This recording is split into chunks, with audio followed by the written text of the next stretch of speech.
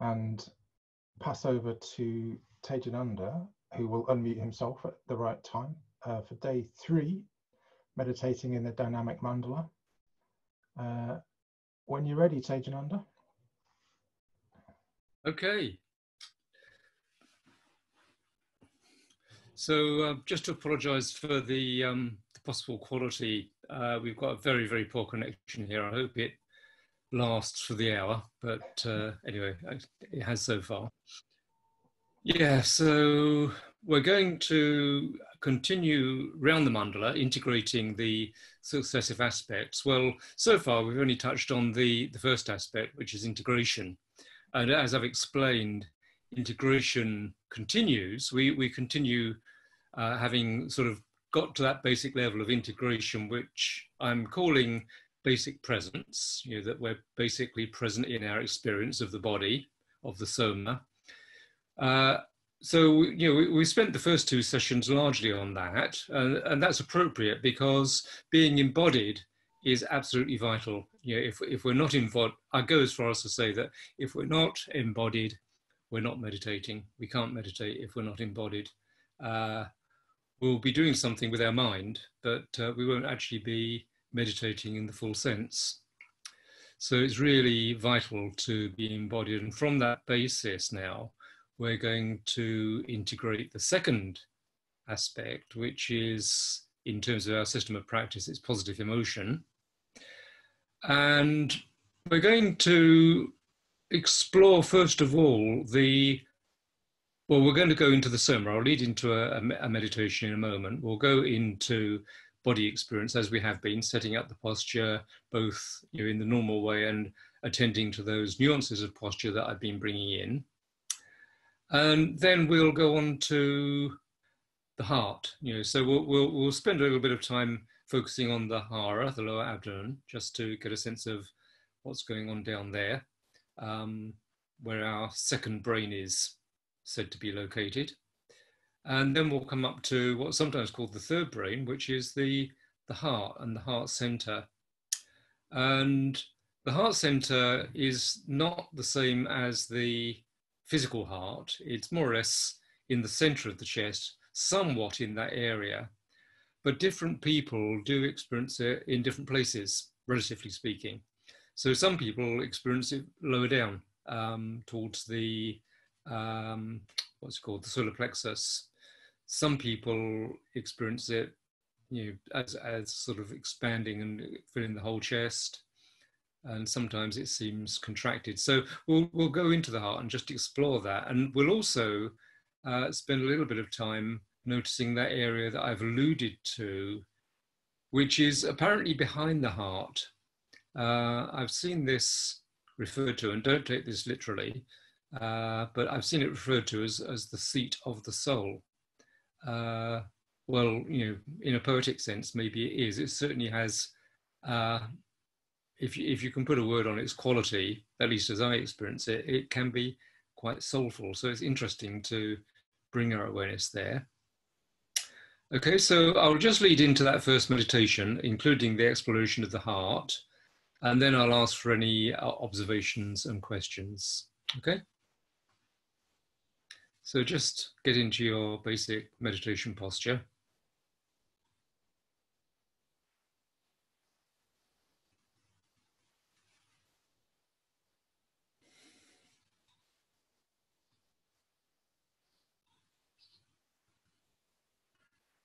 And as we've been doing, indeed, as Sangharakshita suggested, we always do at the beginning of a meditation session, we're just sitting. So just spending just a couple of minutes without trying to achieve anything or go anywhere apart from being open to what's here.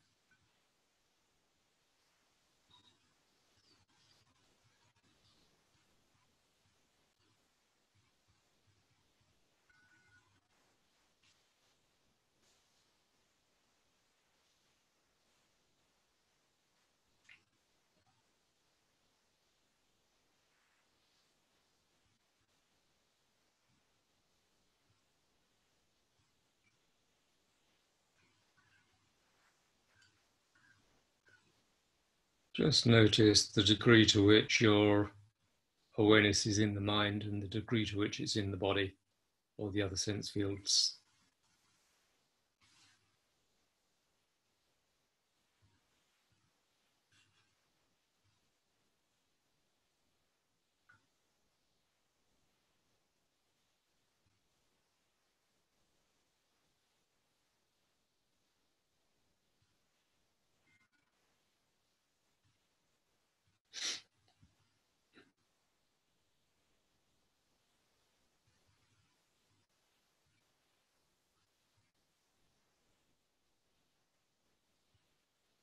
And then let your awareness make the, the very close shift from any involvement with the mental activity into the sensations of the head.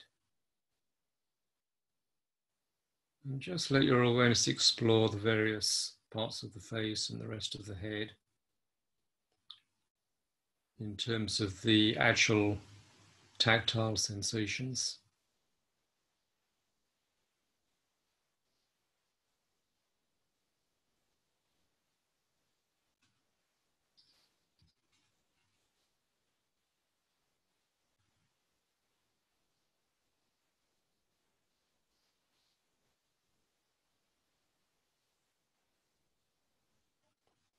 So experiencing the head as soma as sensate energy.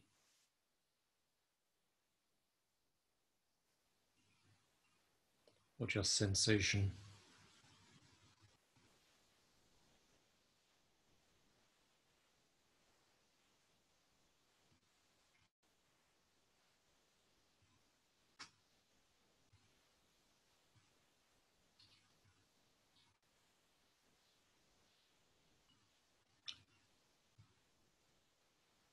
And then let the awareness begin to drop down in the body.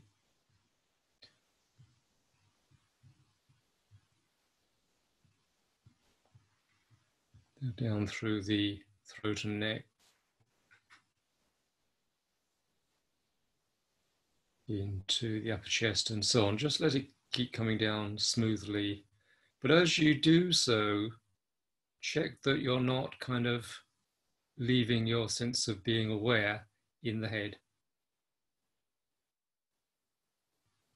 Notice that the awareness is just wherever you're experiencing the sensations as you let the awareness come downwards through the body.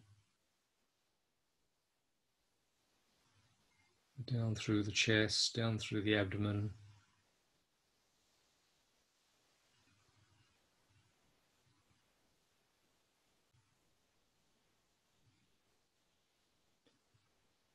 and ending up in the sensations of contact with the seat and the floor.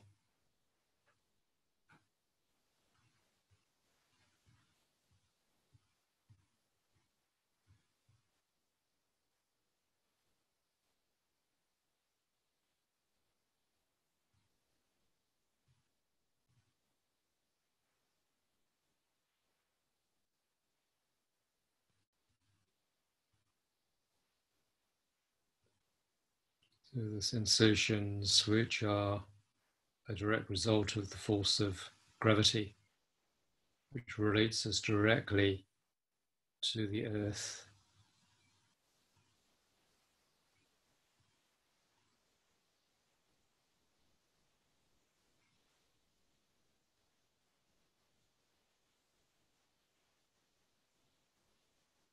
And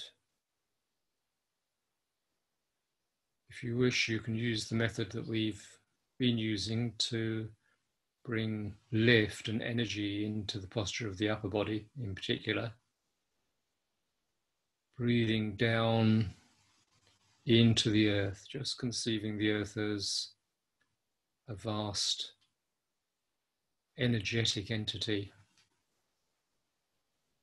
Breathing down into that space, the space of the earth and letting the in breath bring the, the breath, the prana, the chi up again, right up the back of the torso, right to the top of the head.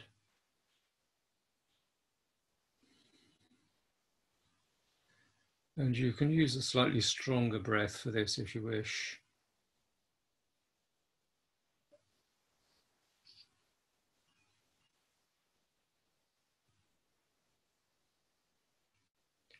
Visualizing the breath coming up through the, the core of the body to the top of the head and above.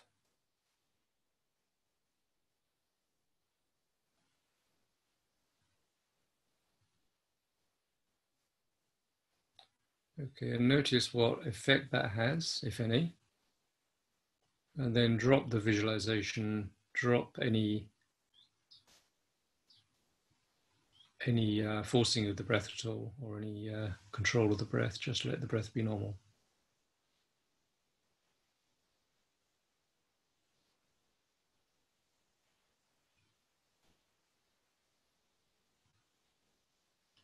And just subtly check for poise that the upper body is not leaning over one way or another, just by subtly moving left, right, back, forth, finding the point of balance, checking that the chin is not tucked right in or jutting out, but somewhere in the middle, so that the neck is slightly elongated, but only subtly so.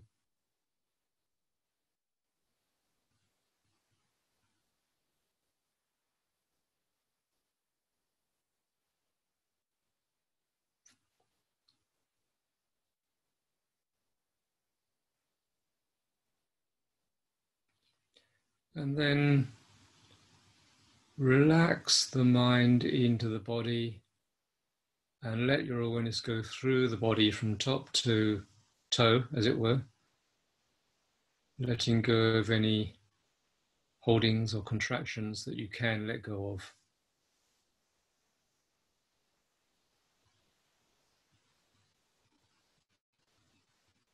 And if you like, imagining them sinking out into the earth.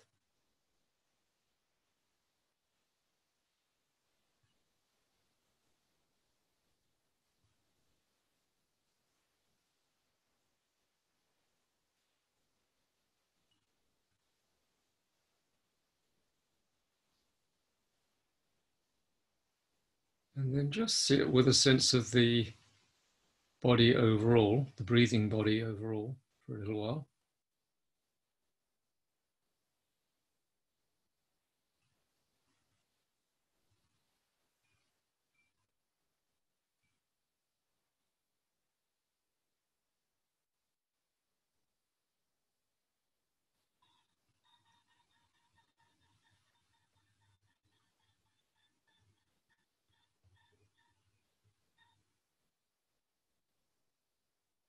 Be aware of the degree to which the mind is noisier or quieter than it was before.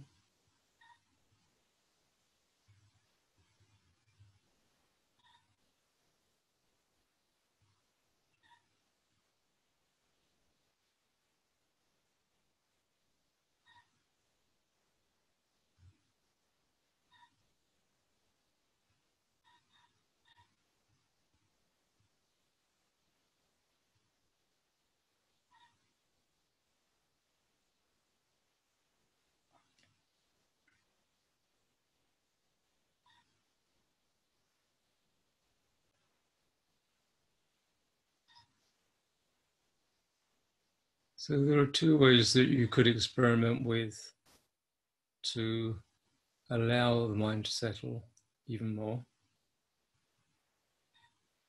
And the first one is what we've been doing of bringing awareness to the lower abdomen, the area known as the hara or lower dantian, which is about halfway between the navel and pelvic floor and within the abdomen. you might sense it more as a space than an area or that is rich in sensation.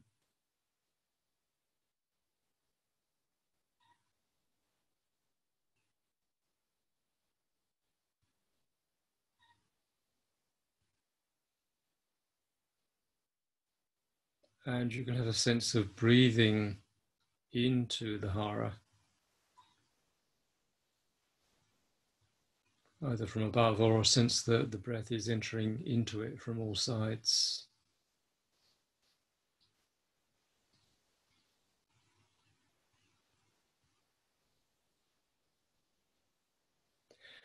These little imaginative supports are, well, they're meant to be supports.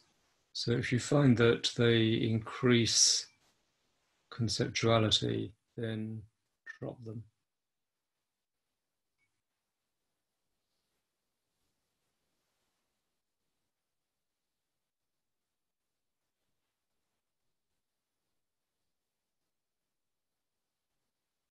The other thing that you could experiment with, which I found does help quiet the mind, is to let the out breath be longer than the in breath. So let the your in breath be natural, just whatever length it is, uh, but slow the exhalation. Don't force it, just make it very gentle but about twice as long as the in breath. And you can do that while focusing on the hara or focusing on the whole somatic sphere, the whole body.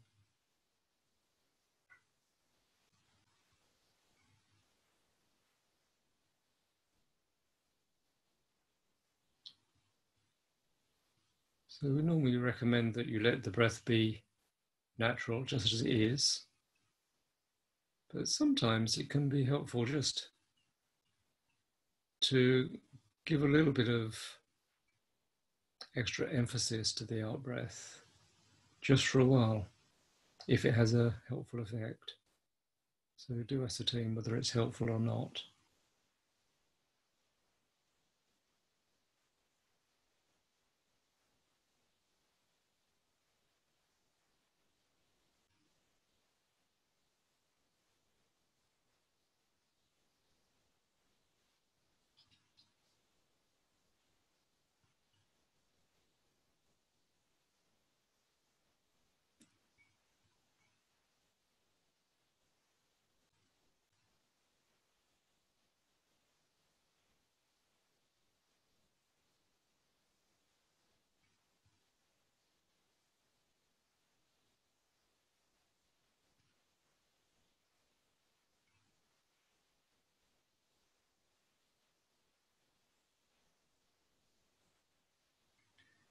Okay, so if you were doing that, just let the breath be normal again.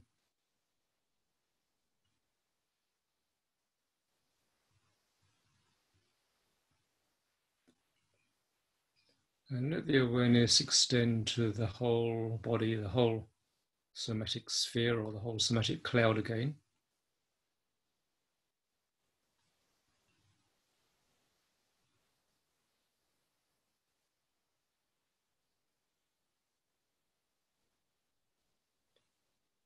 Notice as we were doing yesterday the dimensional or spacious nature of the soma, of the tactile body.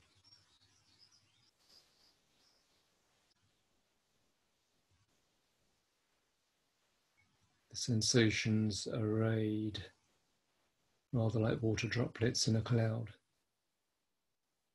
in space.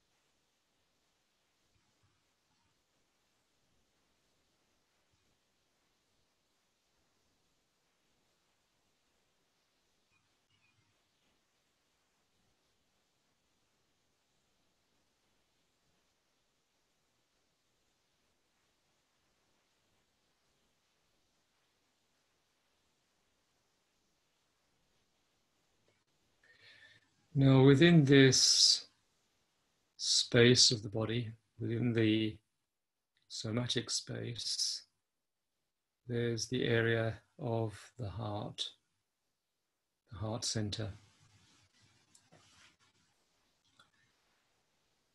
So you might be able to find it immediately and, and intuitively. Awareness can just go there. But if there's any uncertainty about it, you could just ask the body, where is the heart? Where is the heart center? And see if something sort of lights up in the soma.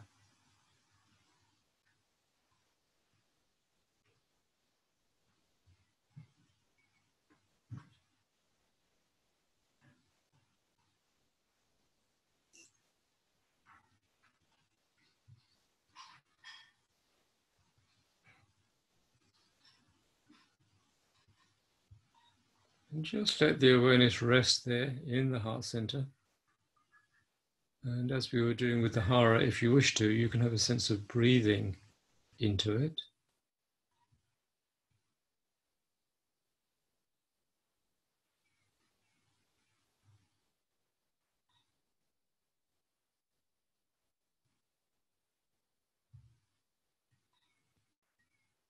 Notice its qualities.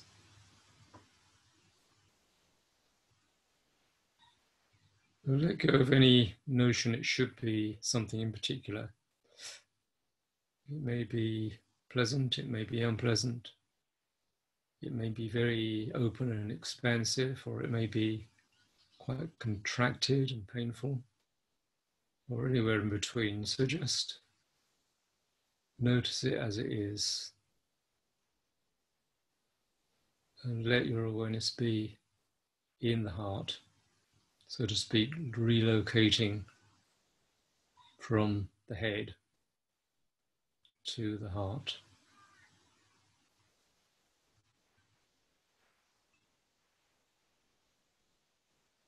The heart really is the center of our being.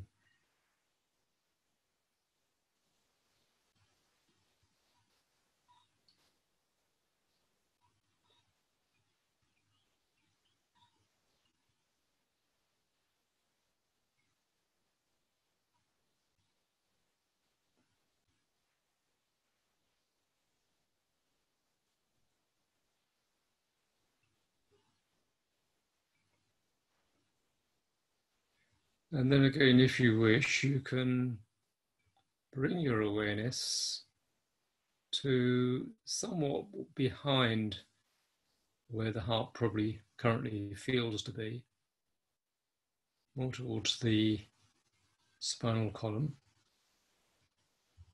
and maybe a little bit further down. And just place the awareness there and sense the quality of that area.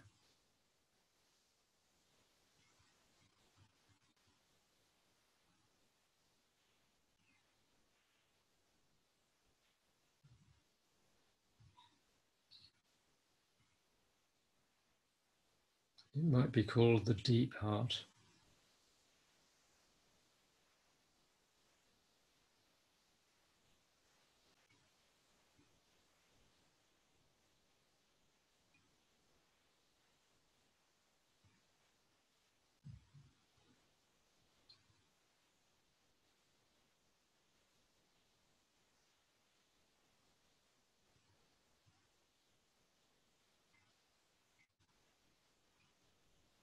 And let that be part of the heart, part of your experience of the heart center. Include that.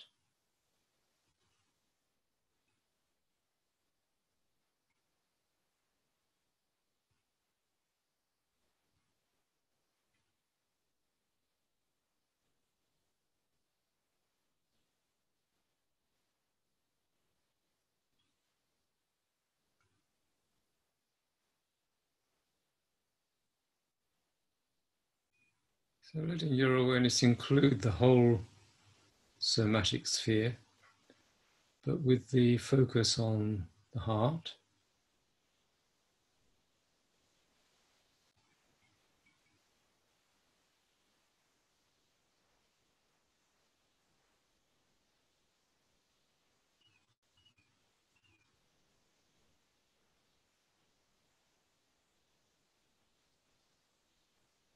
And then just let go, just sit.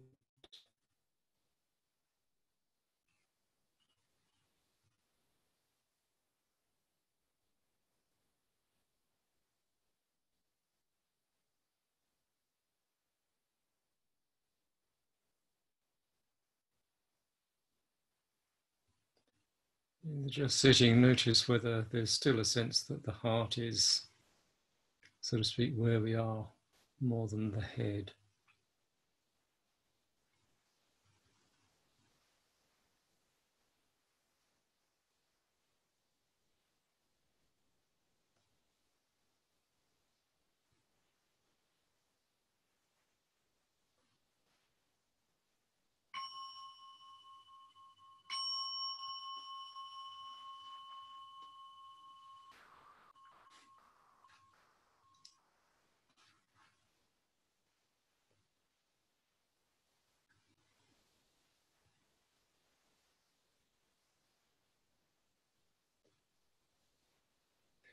Okay, so opportunity for anyone to make any observations or ask any questions.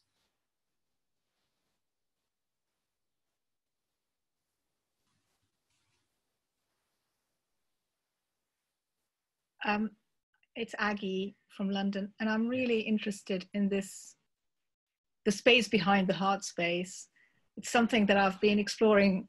Uh, months ago, I was on a retreat with you, and since then I've been revisiting that space and mm. it's it feels like a dark abyss completely uninhabited and unexplored and unknown but not in a scary way mm. i don't quite know what to do with it or what i should find there but i feel drawn to it yeah, yeah. and every time i go there i get pretty mm. but hmm. then nothing really nothing really emerges out of that yeah well I, I don't think you need to expect anything to emerge out of that it's simply mm-hmm. being aware of this this aspect of our being mm-hmm. and, you know it's definitely is you know i find that it's it is distinct from the what you what you could call the main heart center but it, it is definitely in relation to it yeah, so, you know, but it does have a very particular quality or you know, set of qualities. Mm-hmm. And um, yeah, yeah, I often feel, I feel it right now actually, uh, you know, quite moved when I bring my awareness there. Yeah. Mm-hmm. So, you know, I mean, it definitely is part of our, if you like, our, um, our deeper emotional center, you could say. Uh, so it's worth just you know, if you, if you feel comfortable with having your awareness there, then just rest with your awareness there and just, you know, don't, without any expectations, just let it be whatever it is. Okay. Thank you. Can I ask a question uh, regarding the, the same area? This is Keith here. Yeah. Um, yesterday and, and, and, the day before, you spoke about uh, using that area with regard to the, uh, the hindrances, hindrances uh, uh, with uh, aversion and craving. Yes. And you said it seemed pretty obvious to me when I wrote it down, but I, I can't quite fathom how to incorporate this into the practice. You said use that the area just behind the heart uh, with regard to or desire and aversion, if it's craving or, or attraction. Sorry, yeah, um,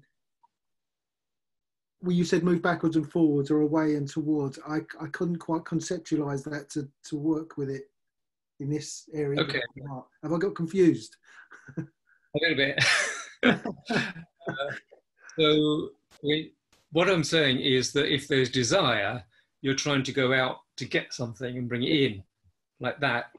So all you do is is come from, as it were, metaphorically out there, bring your awareness back to behind the heart.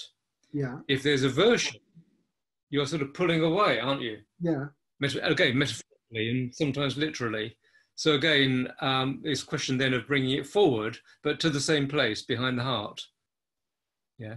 Okay, and, that confused me because I don't feel aversion as being behind me. It's a it's a strange bit of gymnastics for me to to get. get I think I'm I'm going to have to look into it a bit more. I, I, I okay, don't worry about it. Uh, I mean, it's just a metaphor. If it's not helpful, uh, just bring your awareness there anyway. You don't you don't have to worry about where you conceive. You know, it's it's just a way of um, framing it, if you like, conceptually and imaginatively. But the main thing is to bring your awareness into the soma. And I find that you know behind the heart or you know towards the back of the body mm. is a good place to bring it in the case of either desire or ill will. No, you've simplified it for me. I'll just place it there, regardless of whether it's a craving or or, aversion. Thank you. Yeah, exactly. Yeah. yeah. Okay. Anyone else?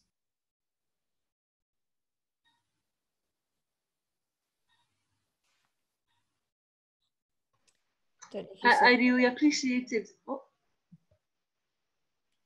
On you go, Kisla Davy. I was just going to point out the question in the in the chat box, but perhaps if you go no, to Tage no, afterwards. So, yeah. you go ahead, Matri Hajrai. Um, I, I just really appreciated um, noticing the, the, the the different flavour of, of you know the heart centre and that space behind the heart. It did feel um, quieter um, and deeper. It felt there was there was a you know a kind of yeah so I, mm. I, I, will pay attention to that more. Um, mm. Thank you, thank you for, for bringing that awareness yeah. to that. Yeah. It's boring. Uh, the question was the other the question in the chat box was to do with is for the for a woman is the hara in the womb area? Yeah, I mean I would say it would include that area, but none of these things are kind of fixed quantities. So you just as the sense of the heart can be in different places slightly. I mean, it's, it's more or less in in the chest for most people. It can be in the um, down towards the uh, solar plexus. With the hara, it might be lower down towards the perineum, or it might be a bit higher up. So it's more a question of just sort of feeling into it. Where does it seem to be for you? Uh, and you know, experiment, see what you come up with. Okay, um, time is not stopping, so I, th- I think we better move on. Uh, yeah, so um, bringing bringing the heart into positive emotion. Now, um, there's such a lot that potentially could be covered in terms of positive emotion. So I'm going to take quite a lot for granted. Yeah, I'm going to take it for granted that you're all familiar with some form of the metta. You know, probably the the five stage one that we do in Triratna uh, that you've been working with that, you know, that you have some sense of the experience, if you like, or the, the expression of metta. Well, I'm sure we all do, because as you know, metta is ultimately simply um, an expression of friendliness uh, you know, at, at, its base level. So I'm not going to go into the metta bhavana at this point, uh, let alone the other Brahmaviharas, the other divine abodes they could all potentially emerge here, but we're remaining somatically embodied, we're remaining in the heart. Uh, now, I think for some people, just to bring your awareness to the heart is enough for you know, some kind of metta or positive emotion to begin to emerge, but it's not necessarily the case. So, what we're going to do is just give the metta a little jump start in, in the next session. And we're going to do what I call the, the Pali Canon version of um, metta. You know, so in the early writings, in the early records, um, almost invariably when the Buddha talks about uh, metta, the quality of metta, he basically says, you sit there and radiate it. And that's it you know that that that's the teaching you know you sit there and radiate metta in all directions and you can do it in one direction and then another direction but basically you know that that that's metta in the pali canon now of course you'll recognize that we have that in the final stage of the metta bhavana as as we teach it in Triratna. Um, I must say, my, my experience in the past, at least, was that I, I often found that by the time I got to the final stage, working on all the other ones, I was already quite sort of um, exhausted. So uh, I didn't I didn't give much attention to this final stage, and I don't know, you know, that might just be me, but it might be more common. Yeah. So here we're just going to, as it were, contact metta, and then let it be there. But we're going to go a bit further than that. So there's metta which we which we cultivate. Yeah. So bhavana, of course, means cultivation. Uh, so we cultivate metta. We use the phrases, we use imaginative methods, and so on and so forth, in order to contact that basic sense of benevolence or goodwill, well-wishing, and so on. And then we then we go through the um, you know the middle three stages where we work with somebody basically somebody who we um, are attached to, somebody who we ignore, and somebody who we don't particularly like, at least at the moment. Yeah, so you, those three stages are really, really important to work with. But I'm going to take it for granted that you know you've all been doing that for probably quite a long time, or a very long time. Uh, so we're just going to come into you know contact metta in whatever way we can, but then we're going to try and take it a bit further.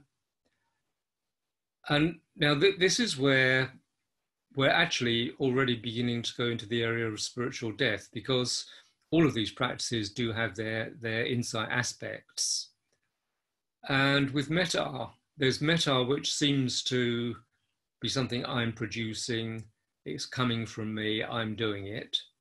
And then there's metta which just is, you could say it's nothing to do with me. It's, if you like, it's expressing through me, but it's not my metta. It's just, it's just as it were flowing through. And at that point, there's no real sense of a separation of me and anything or anybody else. You know, so now that's what I'm going to refer to as unconditional love. Yeah, it just has it has no conditions. It's not for me or any other particular person. You know, it, it, includes people that I like, people I dislike, people I ignore. You know, it's just all inclusive. It includes birds and trees and rocks and the world and the universe. It just it's just all inclusive. The only thing that is absent from it is the sense that I am doing it. Okay, so that's unconditional love. In in well, that's the way I'm talking about that term. So you could say it's metta in the highest sense. So we're just going to do a practice now approaching that. We're going to come, you know, come back to the somatic embodiment, the heart, and then open out to metta.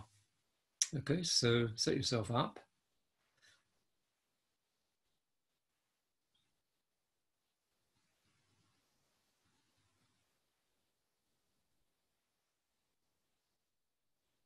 And just as you have your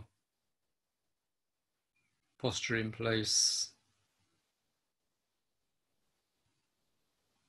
Let the awareness take in the whole of the body, the whole of the soma.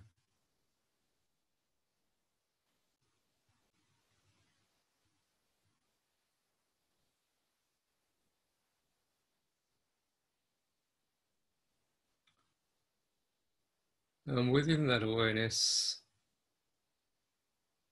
notice the, the grounding of the posture in contact with the seat and cushion.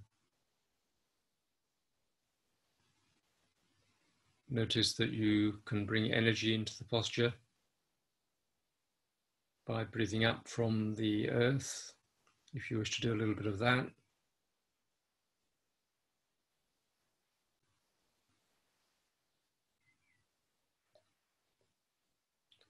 And find the subtle alignment and poise.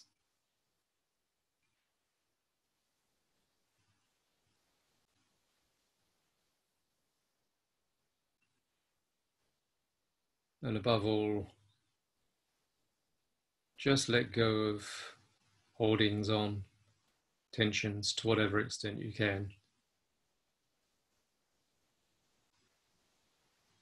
Throughout the whole of the body, the whole of the somatic sphere.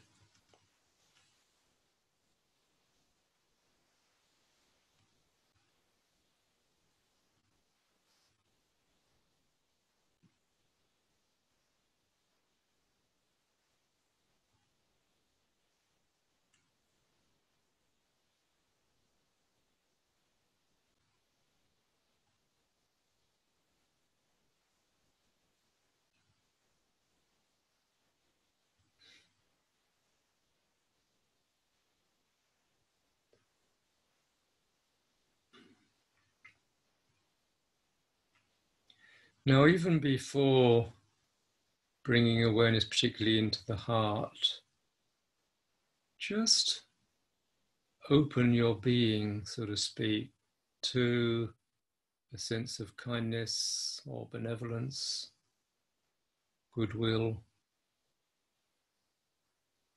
well wishing, love.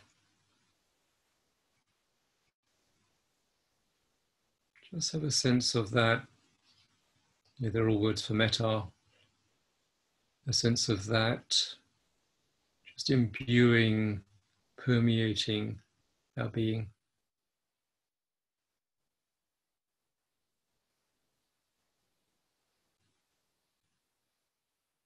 And then bring more awareness into the heart.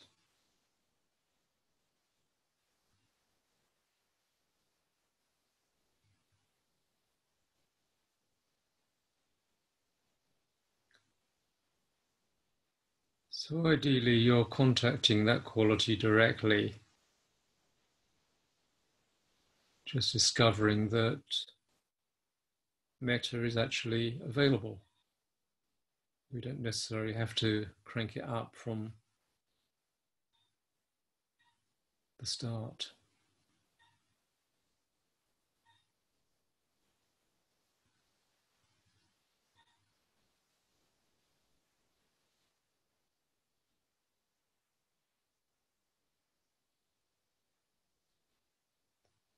So pervading warmth and kindness, which includes the whole of our being, but is especially, or at least our awareness is especially focused in the heart, the heart center.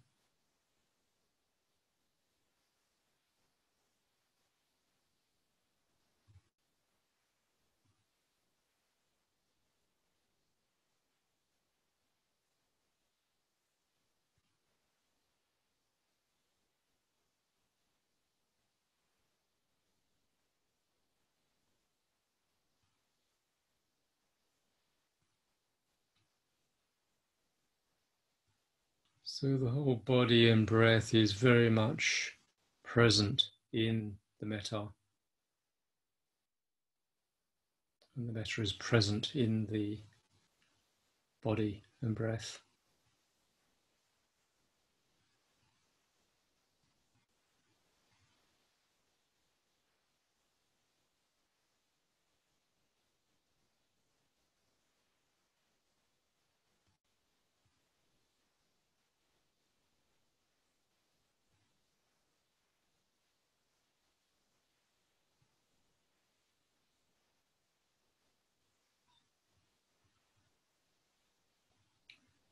And if you've got a sense of it, feel that the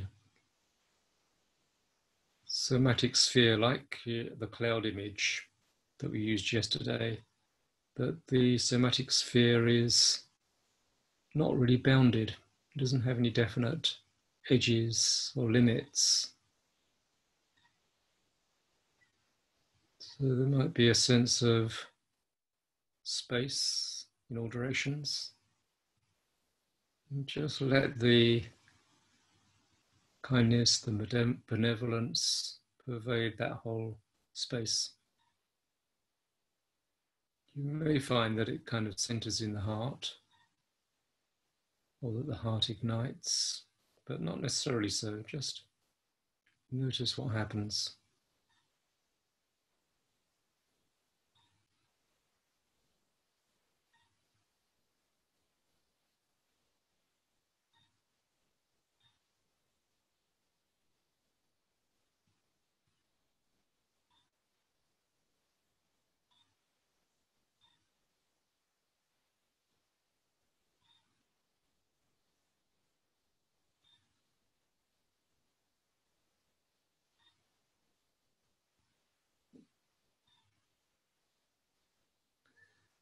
Then let go of any idea that it's bounded in any way. The metta becomes unbounded, limitless, all inclusive.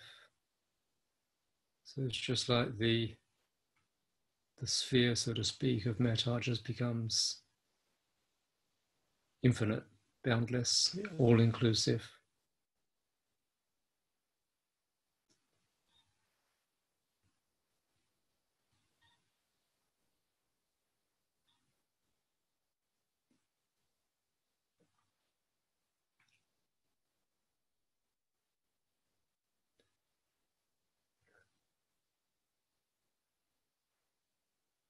So it may well be that particular beings or groups of beings come to mind.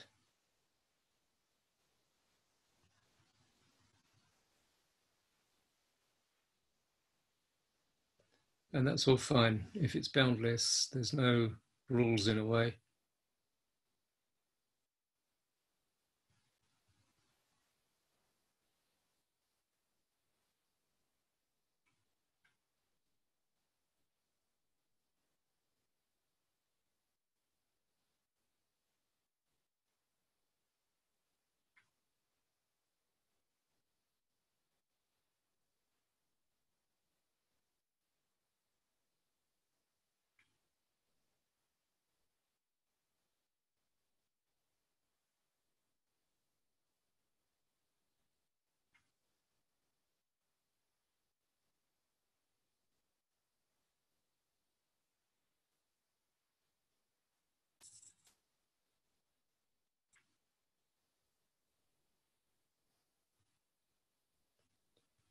So then you could drop in a question, drop it into the heart, or just drop it into your whole being. Is unconditional love already here?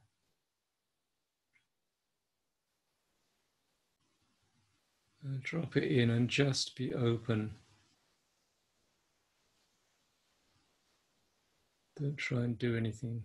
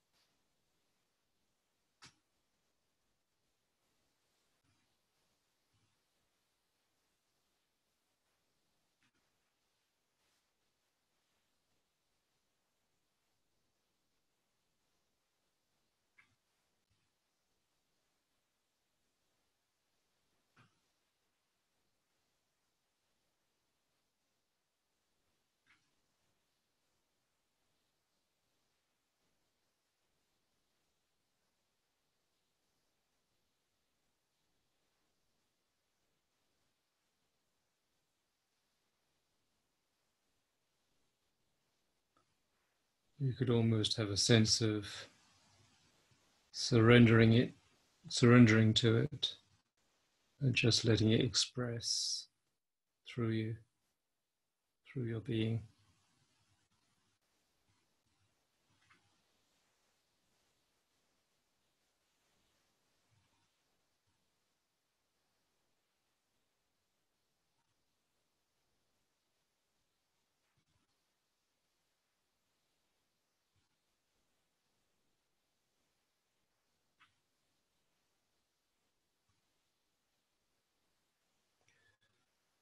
And the mind really doesn't know what unconditional love is, the heart does. So trust in the heart.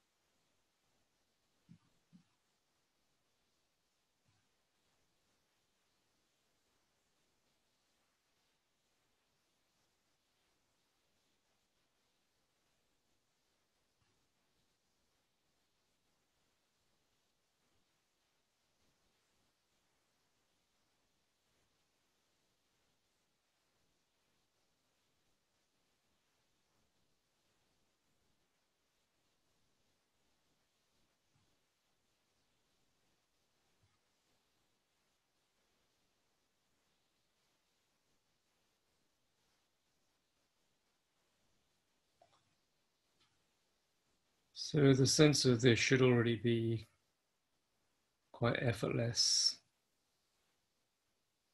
There's no sort of self effort involved. But just let go of even even that and just sit.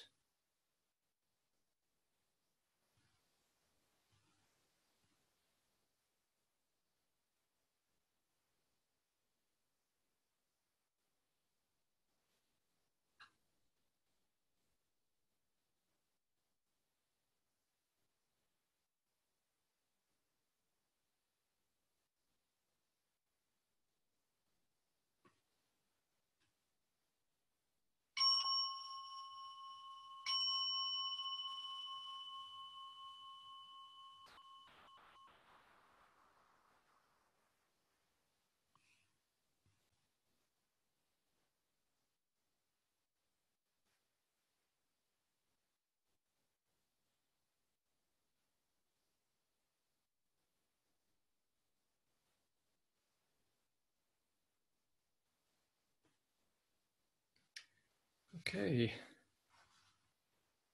So before we have to conclude, any observations or questions?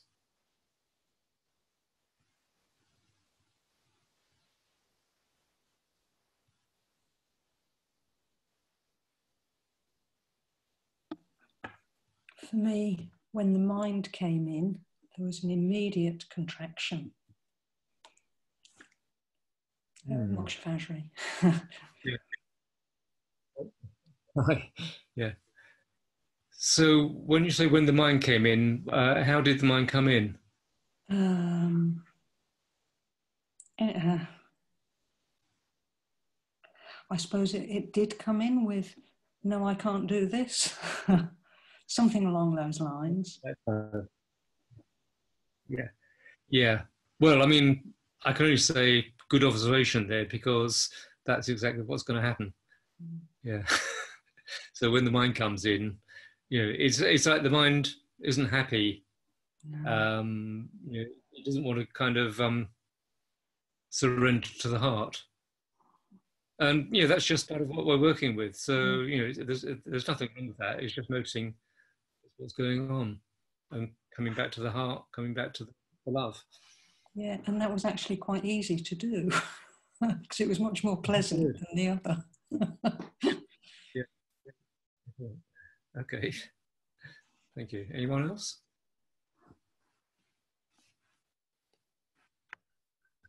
Yes. Hello. Akash and Andy here. Hi. Hello. Um, Let's see you. Hello. Um, I don't anyway, go on. This is perhaps literal, but it, it happens anyway, that the mandala comes into play for me. And mm-hmm. I've automatically gone to Ratnasambhava because it's the second mm. part that we're looking at. And what happened for me was an, an opening, like an unconditional chintamani um, that was very present. It was yellow. Um, yeah.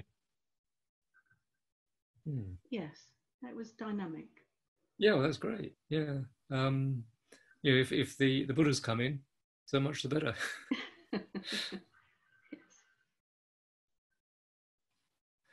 I, I, I personally, I, I, tend to associate it with more with Amitabha, but um, it doesn't matter. You know, it's, it's like there's a resonance there, and you need to allow it to be what it is. I I had difficulty. Uh, I suppose I don't know if it's to say difficulty connecting with this uh, with the unconditional metta. I felt very pleasant, but I didn't. I don't know. It didn't feel like I was feeling any kind of uh, connection with universal love. It yeah. was just a pleasant sit. So I don't know whether that's something that you just have to cultivate by doing it more I've always had problems with the metta. Mm. So I thought this was, might cure it, but it doesn't seem to be an instant fix. There's no instant fix, and you know certainly when it comes to uh, you know the way the way in which I'm talking about unconditional love, it's, I mean, it's the same as insight. Yeah. And as, as we'll see tomorrow, you, you can't force insight to arise. You can ask the question, you can be open, and then it either emerges or it doesn't. But at the very least, you've still got uh, metta. Yeah, it's like you know, at that point you're kind of you've reached you've reached as far as you can go with your own personal cultivation of metta at that moment, and then you let go. So it's it's a bit like just sitting, you know, because with just sitting you just let go into whatever. Yeah. So yeah, don't worry. It didn't happen the first time, the hundredth time. That's not his heart.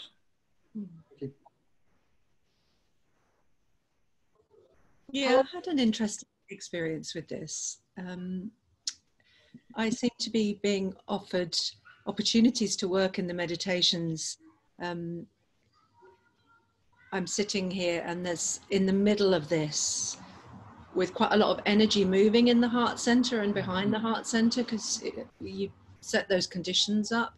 There was a lot of yeah. external noise outside my window. Central London's getting noisier by the day.